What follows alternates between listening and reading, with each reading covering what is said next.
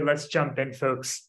Um, we're going to try to make the most out of this hour that we have together, folks. So we're going to do three big things. One, we're going to just get you off into breakout rooms for just a few minutes, just to like be able to get to know each other a little bit in very small rooms for about four minutes, uh, for about seven minutes actually. And then after that, I'm going to spend maybe 20 minutes max, just like trying to give you a, a bit of you know where we are with the incubation and, and what we believe and what underlies some of that. And then we're going to keep the rest of the time for q&a um, and so that's a little bit of how we'll use this time. Our use the, the latter half of this just for q&a um, and then to be able to move from there. Um, thank you so much for all of you that turned on your videos. Um, it's good to see so many faces and it's good to have so many of you here. Um, so give me 30 seconds. What do we got? We're going to get us started with one quick question. Um, and this question is going to carry us over into the breakout rooms.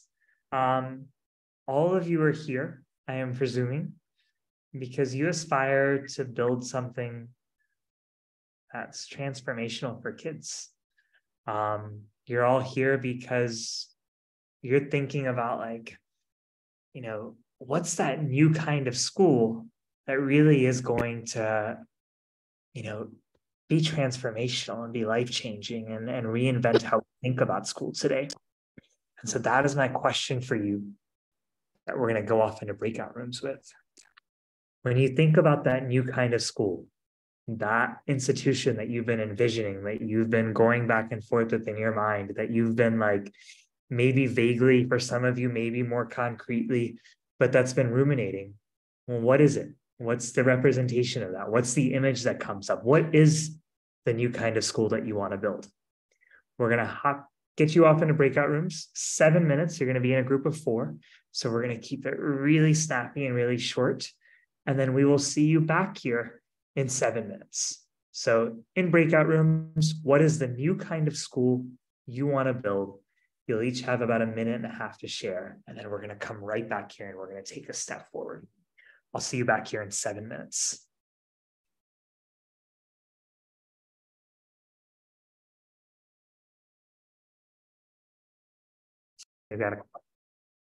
Perfect. We got people joining in. Awesome. Welcome back, folks. Um, I see you have a hand raised. Yes, Ramja, do you want to say something? Yeah. Yeah. Uh, did we really get like seven minutes inside? I don't think because our um, interaction got um, like uh, heated up, and then only like uh, we were sharing something. We came and then like uh, in between, and then uh, like um, we are back to the main room. Yeah, I'm sorry, sorry but then I'm very open. Like that's why I just mentioned it. I'm sorry. No, no, please, is, thank uh, you. Yeah, I'm sorry that it felt rushed. Um, but our hope is to be able to spend a lot more time diving into these ideas and diving into to a lot of these visions, you know, and and like we are here because we are excited about the potential of those visions. Um, and our hope is to be able to go deeper into them with you. But thank you for engaging with us, even though it did feel a little bit rushed, and, and thank you for surfacing that. Um, so, folks, four things we're going to leave you with today, right? Before we jump into Q&A. And one of those is I'm going to leave you with the story. And that's my story. And the second I'm going to leave you with is a case for reinvention. I'm going to try to offer you a little bit of what we believe. And then I'm going to try to give you a bit of a preview into the journey of the circle as we are a day away from actually concluding our first year of operations, right? And that journey will then give you a little bit more into what the incubation will offer. After this, I'm just going to open it up for Q&A. Pooja, Aisha, Priya, myself will just be here to be able to answer questions and we'll just hold space for a little bit with any questions that folks have. Yeah. Um, but to start off with my story, um, so these are the kids that I actually taught. And these are the kids that have probably kept me in this work uh, for the better part of 17 years. And this was 17 years ago.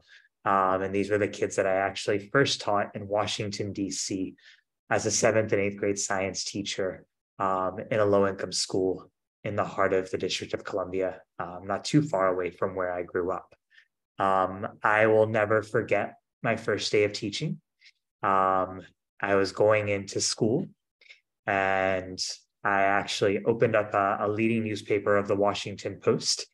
And on the front page of that Washington Post, of the education section, was a headline that I'll never forget. And I actually went up and I actually looked up this headline in preparation for this. And it said this it said, huge achievement gaps persist in DC schools. And when you actually looked right below this, another headline came up. And that headline says, Sousa Middle School, school that I taught at was called Sousa Middle School, robs kids of the education they need and deserve. And I frantically read through this and I'm reading through the rest of this paper and I'm trying to basically find out like, I'm about to go teach. Keep in mind, like, put yourself in my shoes for a second. I'm about to go teach in 60 minutes in this school. And I'm looking at this headline that basically says the school that I'm going to quote, robs kids of the education they need and deserve. And I'm reading through this article, and as I get further through it, I basically read that, well, three out of 10 kids from Sousa will actually graduate. And two out of 10 kids, statistically speaking, are likely to make it through college. And I remember walking into that classroom that morning and I'm looking out at these 40 boys actually that were my first class of the day. I had 120 minute, 120 students that that day, that year. And I'm looking at these 40 kids and I'm thinking like, wait a minute. Which ones are actually going to make it? And which eight will actually make it all the way through?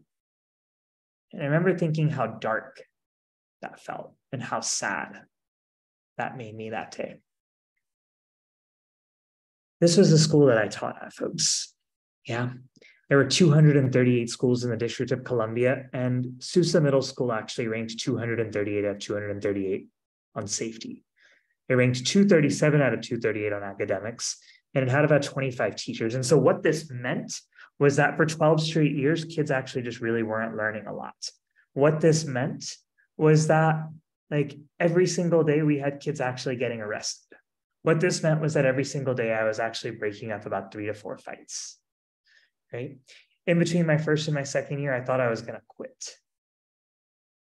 And I went to the principal and, you know, we said, look, like, we just don't think we can do this anymore. Would you allow us to be able to step in and try to take things over and actually help out? And so we, we, we took this call where we actually took over a large portion of the school. What that meant was that we redesigned curriculum, we retrained teachers, we rethought student discipline, we rethought student curriculum. We basically did everything. And our kids that next year saw about 25% of growth. And we're about to finish the two year fellowship that we were on. And the district actually made a pretty big call. And that call was that they actually let go of the principal. And they said, This school does not actually seem fit to run we're going to basically shut this school down. We're going to let go of the principal and we're going to reopen it with different leadership and with the third of the teachers that were new. Very controversial call, right? Lots of people actually weren't happy and it was very disruptive and, and it was actually just like any call like that that's so tough is not going to be an easy one to take fast forward 14 years and this is where the school was at as of 2020. 28 out of 238 on safety, 36 out of 238 on academics, 25% increase in reading and math. It was a little bit of a drop from where it was. Before that, it was actually at number 12 for a while. But when you look at where that was compared to 2006, look at the jumps. And so the question is, what's underlying that? Why do I tell you this story to start off with? Well, I think it's because it's left me with a couple of big things that honestly have fueled why I continue to do this work today and it fueled a lot of basically how I approach this work. Well, one is it taught me that schools matter. Right? Like schools can be either highly catastrophic for kids or they can be transformational for kids. And we have examples of both but it also taught me that leadership matters right like the people within a school matter so so much and the truth is that the people leading schools matter so much. But it also taught me that examples matter. See, examples hold the power to be able to basically change what people believe is possible with kids. And every example of a transformational school that we have like has the potential to really be able to shift what people think is possible. And that matters so much because that changes the conversation about what kids, especially kids from disadvantaged backgrounds, are capable of when you change the conversation. And over the years, folks, I have been reminded of this truth over and over again. I was reminded just last week when we were in the UK with our entrepreneurs and we were visiting schools, and I saw this school and I saw this incredible example of a school working predominantly with kids coming from low income backgrounds and sitting there looking at kids learning at high levels, receiving actually one of the best examples of an education that I've seen. And I thought to myself, wow, like this example where hundreds of kids in this school are receiving something transformational, it matters. I thought about that when I was in High Tech High, a school in San Diego about two months ago. And I walked out thinking, like, wow, this school is just shifting what people think kids can do. And that matters. That matters, especially when you think about the fact that 60% of the kids in this school come from low income backgrounds. Like it matters because it shifts what kids think they're capable and it shifts what adults think kids are capable of. I think about that right here in India. And I think about that when I look across our educational system. And I look at the fact that it feels like we are very, very far away from where we need to be. I think about that when I look at what happened through the pandemic, what things like the ASER continue to tell us about kids across the country. And I think about it when I think about the fact that, wow, like we have a long way to go. And when I step back on that, I don't think, oh my gosh, we're going to be able to basically change the educational outcomes for 260 million students overnight. What I instead think about is that every example of success that we can put into the ecosystem matters because it changes what people believe is possible. What examples do is they change the conversation. That's the story. And so here's a case for reinvention. Well, Gallup, an organizational survey, and some of you have engaged with me have actually like engaged with this before. And if you have, I'm going to actually do a bit of a rejog of your memory. They do this survey every single year, and they've been doing the survey for 60 straight years. And the first time they started doing the survey was in 1963. And they asked employers across the world one question What are the top three skills that kids graduating should have as they enter the workforce? I'm going to say it again. What are the top three skills that kids graduating should have when they enter the workforce? Here's my question to you. Come on over to the chat box with me, everybody, please. Over to the chat box. What do you think employers said in 1963, 60 years ago? Top three skills graduates should have as they enter the workforce. Shrey says communication. Good to see you, Shrey. Thank you for that. So, communication. What else? What are the top three skills? 1963. I need you to rewind 60 years. Got engineering, academic excellence, got some counting, writing, speaking, got some innovation, communication skills, communication, critical thinking, flexibility. Some people actually say, like, look, they wanted the same thing confidence, got leadership, empathy, creativity, literacy, and numeracy. So check this out. For those of you who have seen this before, it'll be a recap. But here's what they said back in 1963. They of reading, writing, and arithmetic. And in 1963, what they meant by this, and this was clarified in an article that came out in 63, they said with arithmetic, they want computational arithmetic. Can you do procedural math? With writing, they said a focus on penmanship, right? All of this made sense in 1963, folks. That was the world that we were living in in 1963. It made sense to say, like, these are the three skills kids have. Fast forward to 2022. What do you think they said 59 years later? What do you think they said? Come back over to the chat box with me. 59 years. And if you basically like know the answer, please put it on over in the chat box. 59 years later, what do you think they said? Problem solving, memorizing, critical thinking, communication, leadership, innovation, skills, interests, digital literacy, there, strategic thinking, empathy. Has changed a little bit in 2022. I need to update this image. Basically, they said problem solving, they said critical thinking, they said creativity. And actually, in 2022, they actually said cognitive empathy as well, right? Because they felt like cognitive empathy is a precursor to teamwork. What am I getting at with this? Folks, the world has changed in 60 years. The workforce has changed in 60 years. The unfortunate truth is that the vast majority of our schools haven't. Right? As somebody who's probably spent every single week getting into schools for 14 years since I've been in India, minus the pandemic, I can tell you that 98% of what I observe, not all, but 98% of what I observe is still preparing kids for a 1963 world.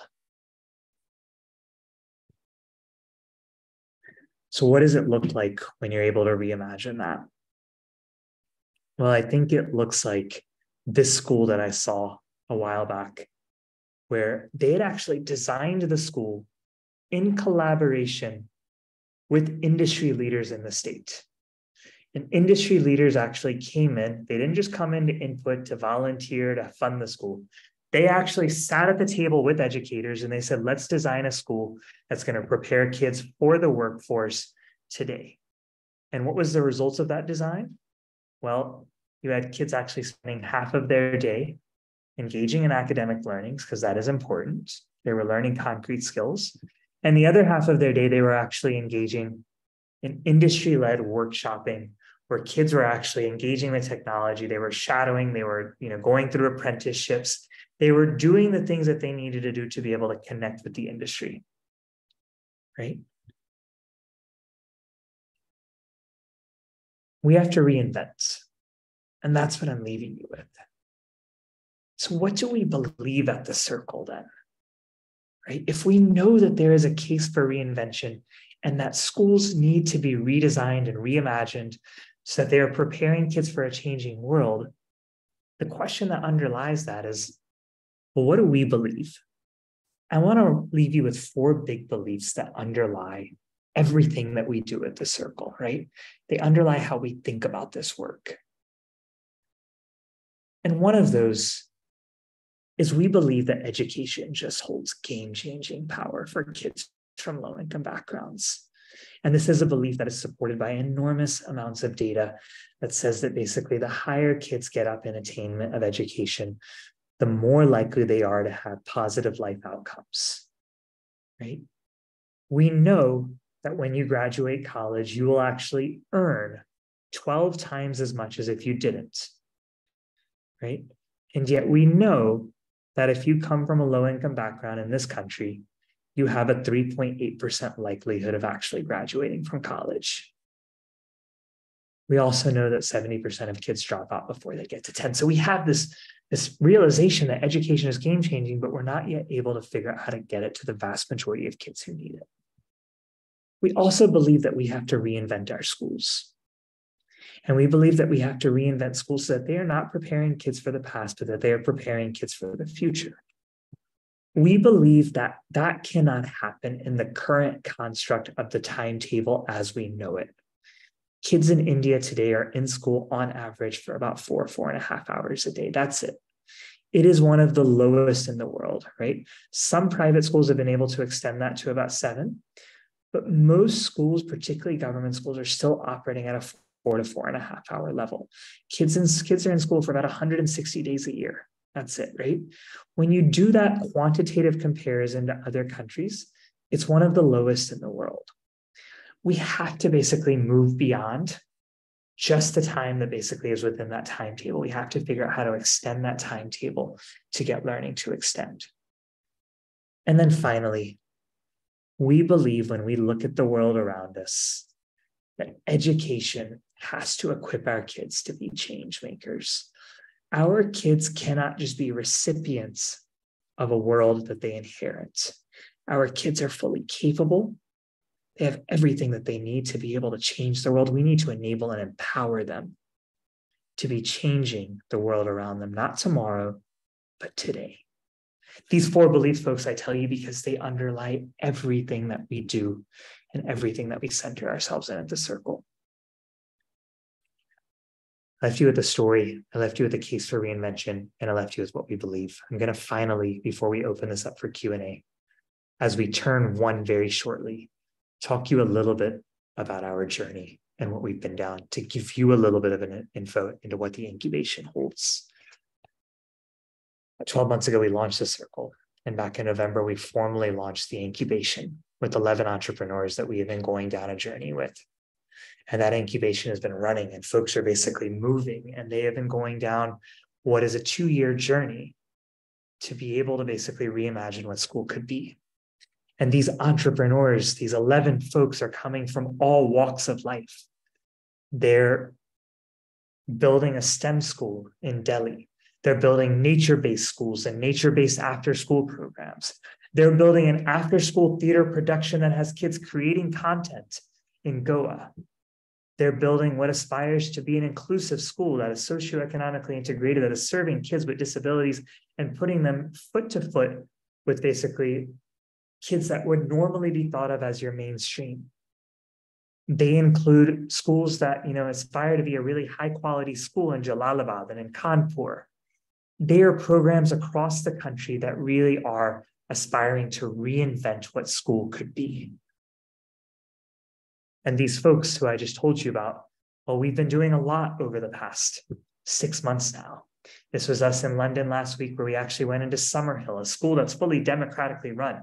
We walked out of the school, I walked out of that school at least feeling very uncomfortable by what I just saw, but also feeling deeply moved and deeply shifted about a school that's done this for a hundred years. They've been spending time workshopping five days every single month, trying to come together and workshop so that they're able to really think about how do you build a school or an after school program step by step.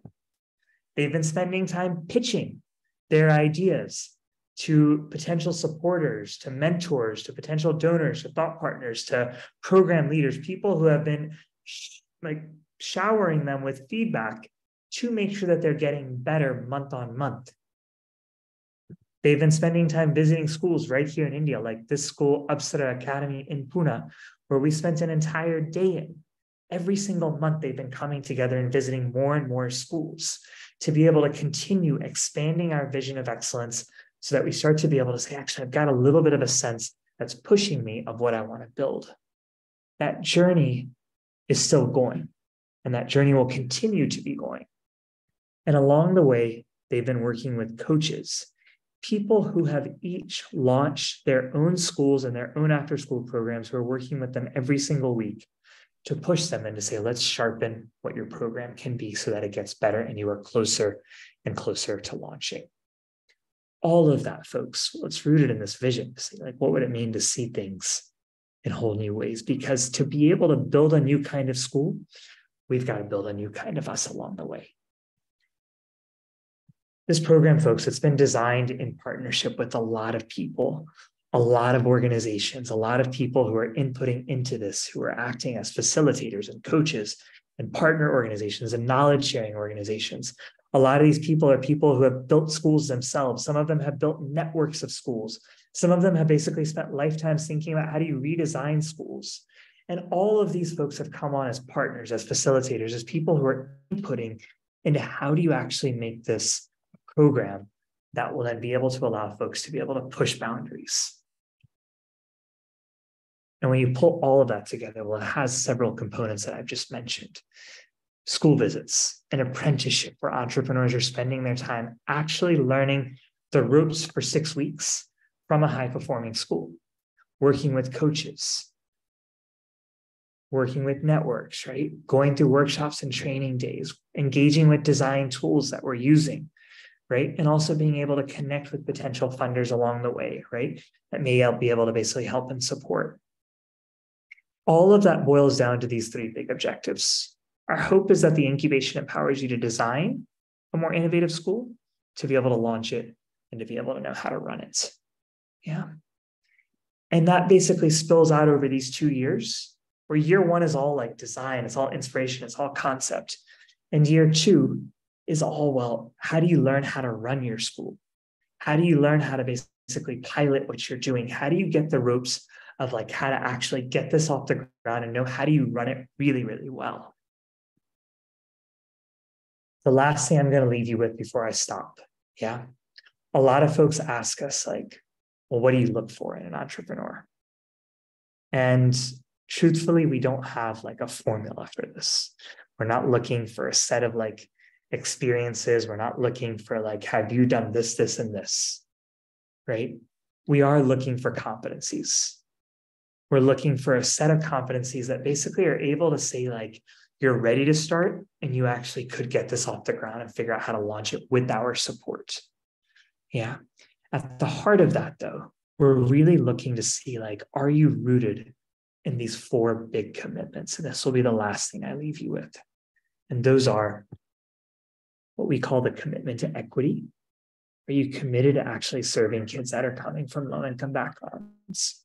The commitment to community. Are you committing to basically designing this in partnership with kids, with family members, with the other entrepreneurs? The commitment to a holistic vision. Are you committed to developing a vision for kids that is not just academics, but also that is not just socio emotional? That is all of it together, because that's what we know is transformational for kids. And finally, are you committed to results? Which basically means, are you committed to basically measuring what you are doing so that it is getting you better for kids over time? I'm going to pause. Um, said I take about 20. I think I'm right at time, a little about two minutes over. And we're going to open the rest of this space to be able to basically just hold some time for Q&A. Um, and then be able to go from there. I should have a quick like live question for you that I know that that I am wondering, do we want to break people off into two groups or do we want to be able to do it all together here? Is Aisha still with us? Oh, there she is. Yeah. Yeah. Um, we could do that. Uh, let's uh, we could break off into two groups. Um, and perhaps the co-host could then jump after 10 minutes if, if it's needed. Uh, but Pooja, maybe you could lead one of the groups and we could have some lead the other, and I can break you out. All right, let's do that so that everybody gets a chance. Come back here in about 25, um, and we'll spend the next 25 minutes off in groups, and then we will bring this to a close. Okay.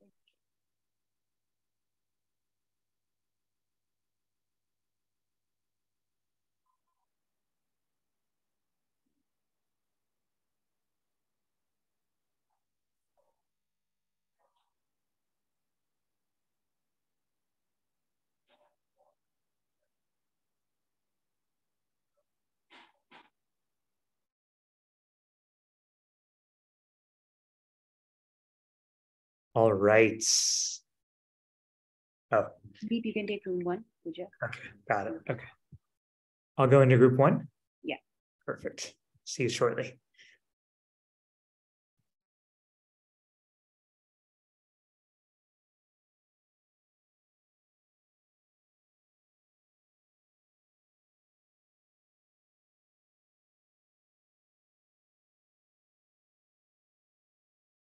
we just um and so like you know reach out to one of us. I'm put my email id and i'll ask my team members to do the same. But reach out to basically one of us.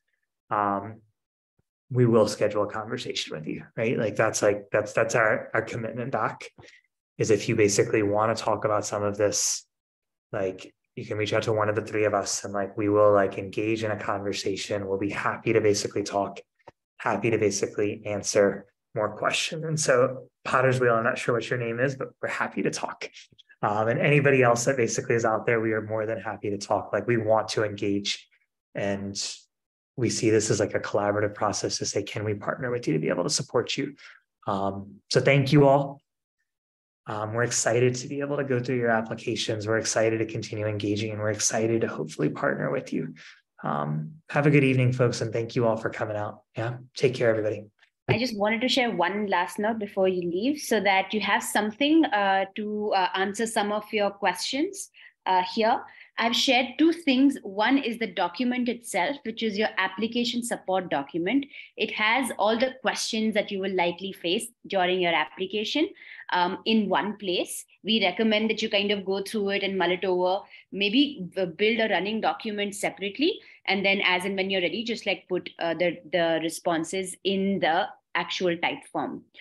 I've also shared a link uh, to that blog. So if, if you cannot for some reason download it now, um, on the Circle India website, and this is for anybody who will be watching the recording as well. On the Circle India website, in the blog section, we have a blog which talks about the applications being open, and that also has this document which has the link to all the application questions, the link to the application itself, and the link to the FAQ document, which a lot of them turn out to be, um, you know, common amongst uh, everyone. So once you're you you know you have that clarity you can also continue to kind of reach out to us for some of the trickier questions um, so that you're ready uh, to kind of you know share um, your application with us thank you so much